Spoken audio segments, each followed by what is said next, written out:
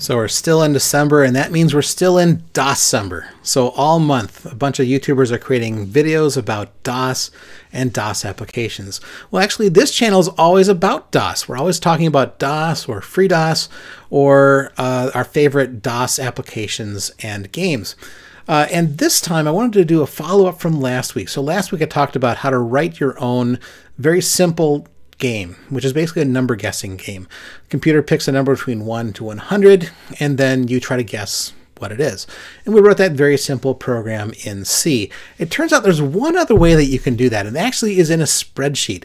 And so I wanted to use my favorite spreadsheet, as easy as, uh, and write that very simple game uh, using some cells and, comparisons in as easy as. Let's do that.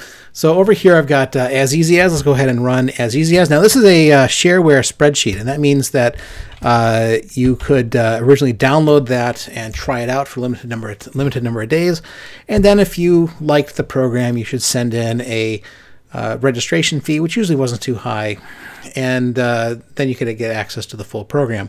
Well, Trius, who made As Easy As, has since released this as freeware, which means you could download it, uh, including an, uh, a full access code, and you can even download the manual. And so I'll put a link to that in the video description. So let's go ahead and write that uh, number guessing game uh, in as easy as. So uh, first up here in A1, we're going to go ahead and pick that random number. Uh, so uh, we're going to use a random number function. So uh, the random number function in a spreadsheet is the rand function. in, in DOS spreadsheets, you start all functions with an at. And so we're going to type in at rand. Let's just look at what that value is. Actually, there's there's no parameters to that, so there's no parentheses. That's why it gave me a little beep.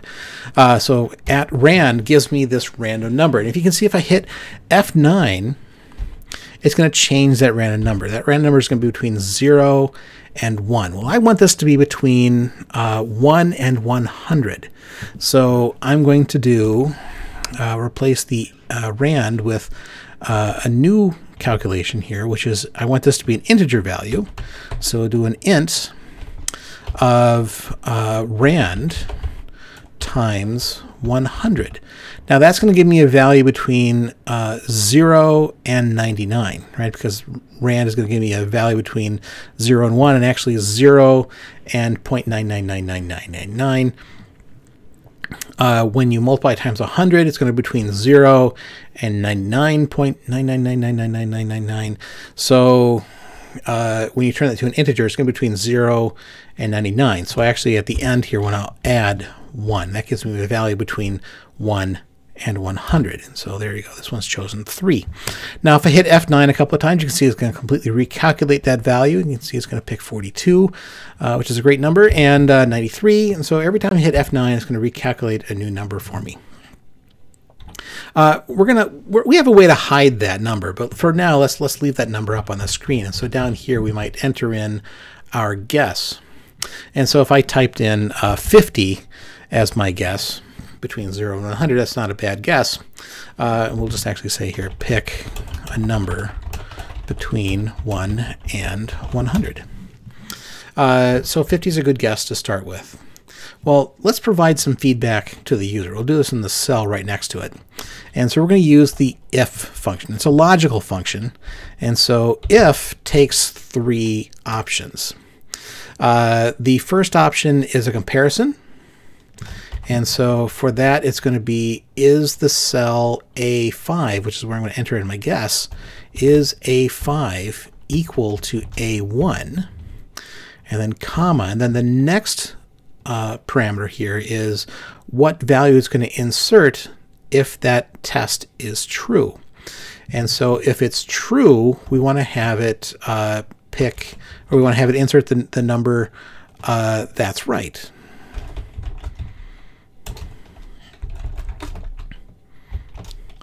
And then if it's false, we're going to have it put in some other value. And so let's just say uh, that's wrong. We're going to do other comparisons here in a second, but I just want to show you uh, that's right and that's wrong. And actually, every time I pick a number, uh, it, it turns out it doesn't actually recalculate my random number, but it will actually update the field over here. So if I were to type in, let's just say uh, 33, So it didn't update my random number, uh, but it, it, it, actually is doing some stuff over here to evaluate uh, B5. So I know that because if I actually enter in the correct number, B5, it actually tells me that's right. And so I can use that. Actually, uh, I can I can now use that to add to my if statement. So let's uh, let's add to this. Let's edit this with F2. And so we need to stack our if statement with another if. So if it's not equal, then it's going to be either greater than or less than. And so I'm going to say if A5 is less than A1, then we're going to have it print out the value uh, too low. Now remember, it's either going to be too high or too low. So if it's not too low, it's going to be too high. Right, so every if statement can take three parameters. Uh, the first one's the test, the next one is what to insert if it's true, and the third one is what to insert if it's false. That's all it does. And so I need to have a, a closing parenthesis for that uh, if statement, and then another closing parenthesis for the uh, parent if statement. And so I could put in, let's just put in 50. Okay, that number is too high. And so I might guess 20. Okay, that's too low. And so I might say uh, 40. That's too high. And I might say 35. And that's exactly right. And every time I hit F9 is only when it's going to recalculate that random number in A1. So if I hit F9 again, you can see it's now going to change that number and so my guess 35 is now too high. And so I might say, okay, uh, maybe maybe 10. Oh, that's that's too low. Uh, 20, well, that's too high. And so I might walk my way down and say 19. That, that's right. So now I know that every time I hit F9, uh, it's going to recalculate my random number. And so now uh, to make this into a game for myself, all I need to do is hide this value. So an easy way to do that is I'm just going to um, use a color.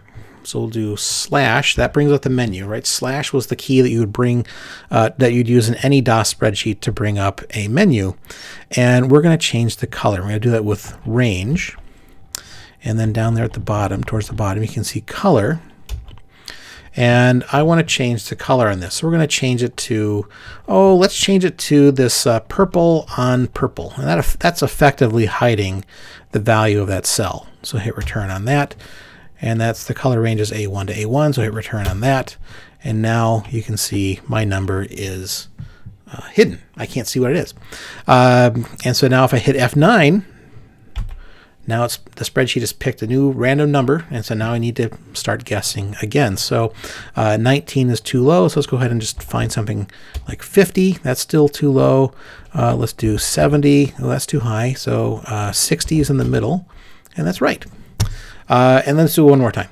Uh, F9 to have it recalculate another random number, and now my number is too low.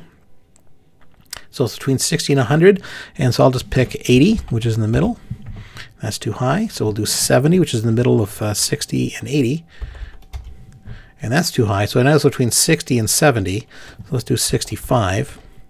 And that's too high. So between 60 and 65, we'll do 63. And that one's right. So uh, yeah, this is how you can make, uh, if you would like to, you can make a game in a spreadsheet, sort of a guess the number game where the uh, spreadsheet will pick a random number and then you need to uh, try and guess that random number. So yeah, you can do lots of uh, neat things in spreadsheets. So before I go, I just want to thank everybody who supports me on Patreon. You really do make this channel happen. So thank you very much for that. Some of you are sponsoring me at a higher level, and I want to thank you here especially. So thank you again. Before I go, visit our website at freedos.org, join us on Facebook, follow us on Twitter, and consider supporting me on Patreon. Thank you.